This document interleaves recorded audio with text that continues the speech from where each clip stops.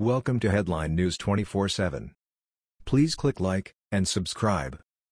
After Emmy hosts trashed Trump and Christians, Betty White came out with awesome surprise.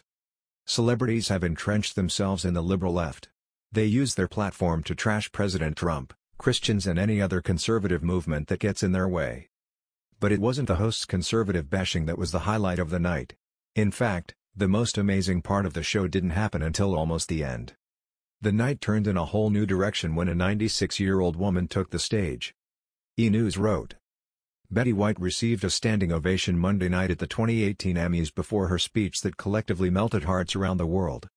Saturday Night Live's Kate McKinnon and Alec Baldwin, both of whom are nominees for their roles on the show, introduced White as the greatest of all time.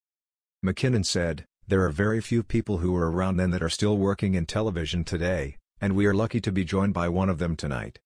White has won 8 Emmy Awards and nominated 24 times, and, according to McKinnon, at 96 years old she still thinks about those Emmys she didn't win. And she's still bitter.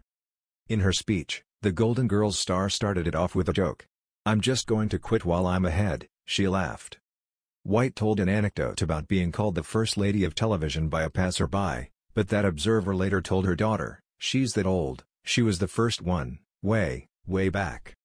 She said, Little did I dream then that I would be here.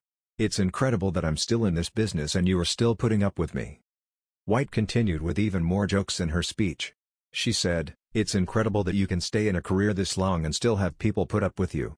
I wish they did that at home. She concluded, It's such a blessed business to be in. Unsurprisingly, the Twitterverse came out in full support of the actress and her accomplishments. I will donate organs for Betty White, one tweet said. Another message called White absolutely a national treasure. Congratulations on all your achievements, Betty. Outside of Betty White and a few others, the show was trash. Viewership was the lowest it had ever been in the history of the program. Fox News reported.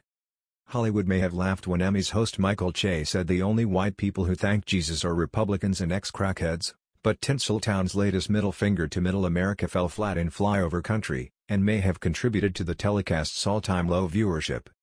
Co-host Michael Che left many viewers of the 70th Annual Emmy Awards upset during the opening monologue with his fellow Saturday Night Live star Colin Jost, explaining that his mother would not be watching the show on Monday night.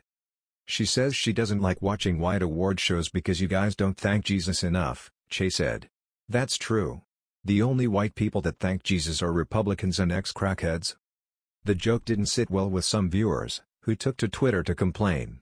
Not only that, the show's ratings dropped 10% from last year's already dismal numbers, setting an all-time low, according to the Wrap. While many viewers may have changed the channel after the opening monologue, jabs at average Americans were far from over and the Jesus gag became a running theme throughout the evening. Conservative strategist Chris Barron told Fox News that large swaths of the American public just want to be entertained but instead were turned into unwilling participants in a political rally disguised as an awards show. Whether it's the NFL or the Emmys, People desperately want a break from politics. It's amazing to me at just how tone-deaf Hollywood is, Barron said. In the end, the Emmys should be thankful Betty White was part of their program otherwise it would have been a total waste. That was the news. We thought you might be interested in knowing about this. Please click like and subscribe. Thank you.